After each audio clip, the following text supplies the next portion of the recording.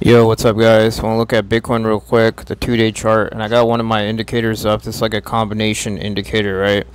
Looking back at the previous bottoms, want to see some kind of patterns we might have seen. Um, one thing uh, I'm seeing here is that, uh, what the hell is my, um, if you look at these bottom points, right, when we had this, most of the time, the way the bottoms has happened, we've had this, like, uh, you know, big bounce up, right? Like where the percentage, you get like a 264% gain right here, right? Um, so this right here is like a 264% gain. And on this indicator, that that move up to the top range or overbought coincided with the big bounce. That's usually how it's happened most of the time. So we go back, if we go a little bit forward, uh, like see some past, I have all of them pretty much marked already. Um, here we have 2015, right? Kind of similar. Um, you know, let's see the percentage gain here from the bottom. Oh, this is so annoying. Alright, so from here, it's about 87%, right? It went up 87%. Um, and it coincided with uh, the top of the range, right? Going from bottom to top of the range, big bounce, 87%, right? Uh, pretty much to backtest the EMAs as well. You know, 2015 is pretty similar, but that was, you know, that was just a retest right there. If you go a little bit forward here, um, let's see these other other big drops. 2018, right? 2018, I think, was a little bit different, right? In that it didn't right? It went up like it was more of like a accumulation setup. It only went up 36% right?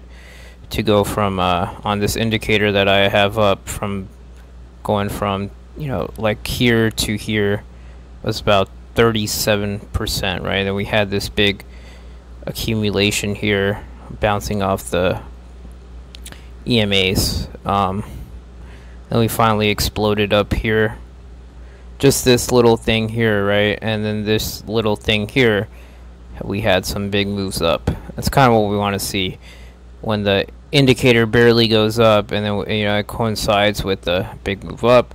And then 2020 was like a really big bounce, right? Like this is like 150%.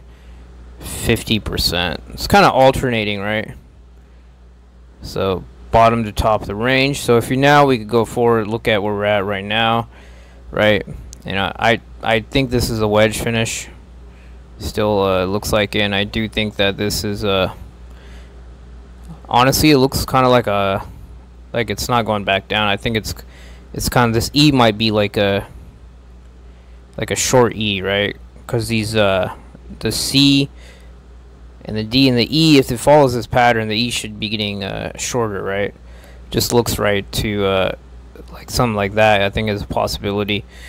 But uh, if we look at this indicator, right, you know, we didn't have a big bounce from this move up, which is kind of not what we want to see, right? Um, but this this is forming kind of like a wedge down right here, right off the high to low 618, and this kind of looks like a a inverse head and shoulders right here, right? So I think this thing could probably is going to break back up to top of the range here, right? And what we want to see is a big move up. That's kind of what we want to see. At least up to like 20k. I think there. I, I charted this before. I think there's a big. there's a lot of resistance at around 20k, and plus it's a psychological number. So we want to kind of see a big bounce up, while this indicator, you know, barely goes up, something like that. That would probably signify uh, the end of the bear market. Um, so that's kind of what we're looking for. Just quick update.